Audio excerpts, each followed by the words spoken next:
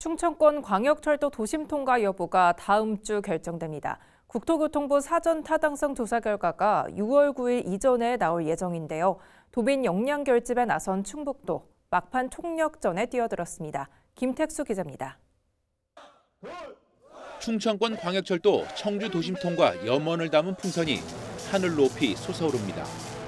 대통령 공약 사업임에도 차일필 미뤄지고 있는 상황을 더 이상 가만히 기다릴 수 없다며 충북 민관정이 역량 결집에 나선 겁니다. 우리는 할 수 있다. 우리 충북도민은 할 수 있다. 청주 도심 통과 노선으로 할지 아니면 기존 충북선을 활용할지 국토교통부의 결정도 초읽기에 들어갔습니다.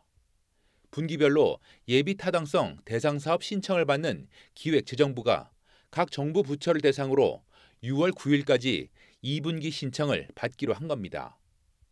이에 충청권 광역철도 사업 사전 타당성 조사 용역을 진행 중인 국토부는 그 이전 구체적인 노선을 확정하고 기재부에 이를 넘길 예정입니다.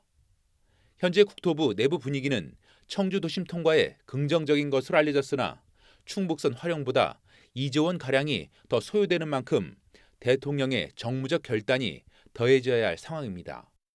예산이 2조 가까이 더 들어가는 문제이기 때문에 이 문제는 대통령의 결단이 필요하고 또 정부의 그 어, 떤 충청북도에 대한 그런 결정이 필요한 사안이라고 생각해서 지금 이 문제가 관철되기 위해서는 도민의 뜻이 하나로 모아져야 된다 그렇게 보고 있습니다.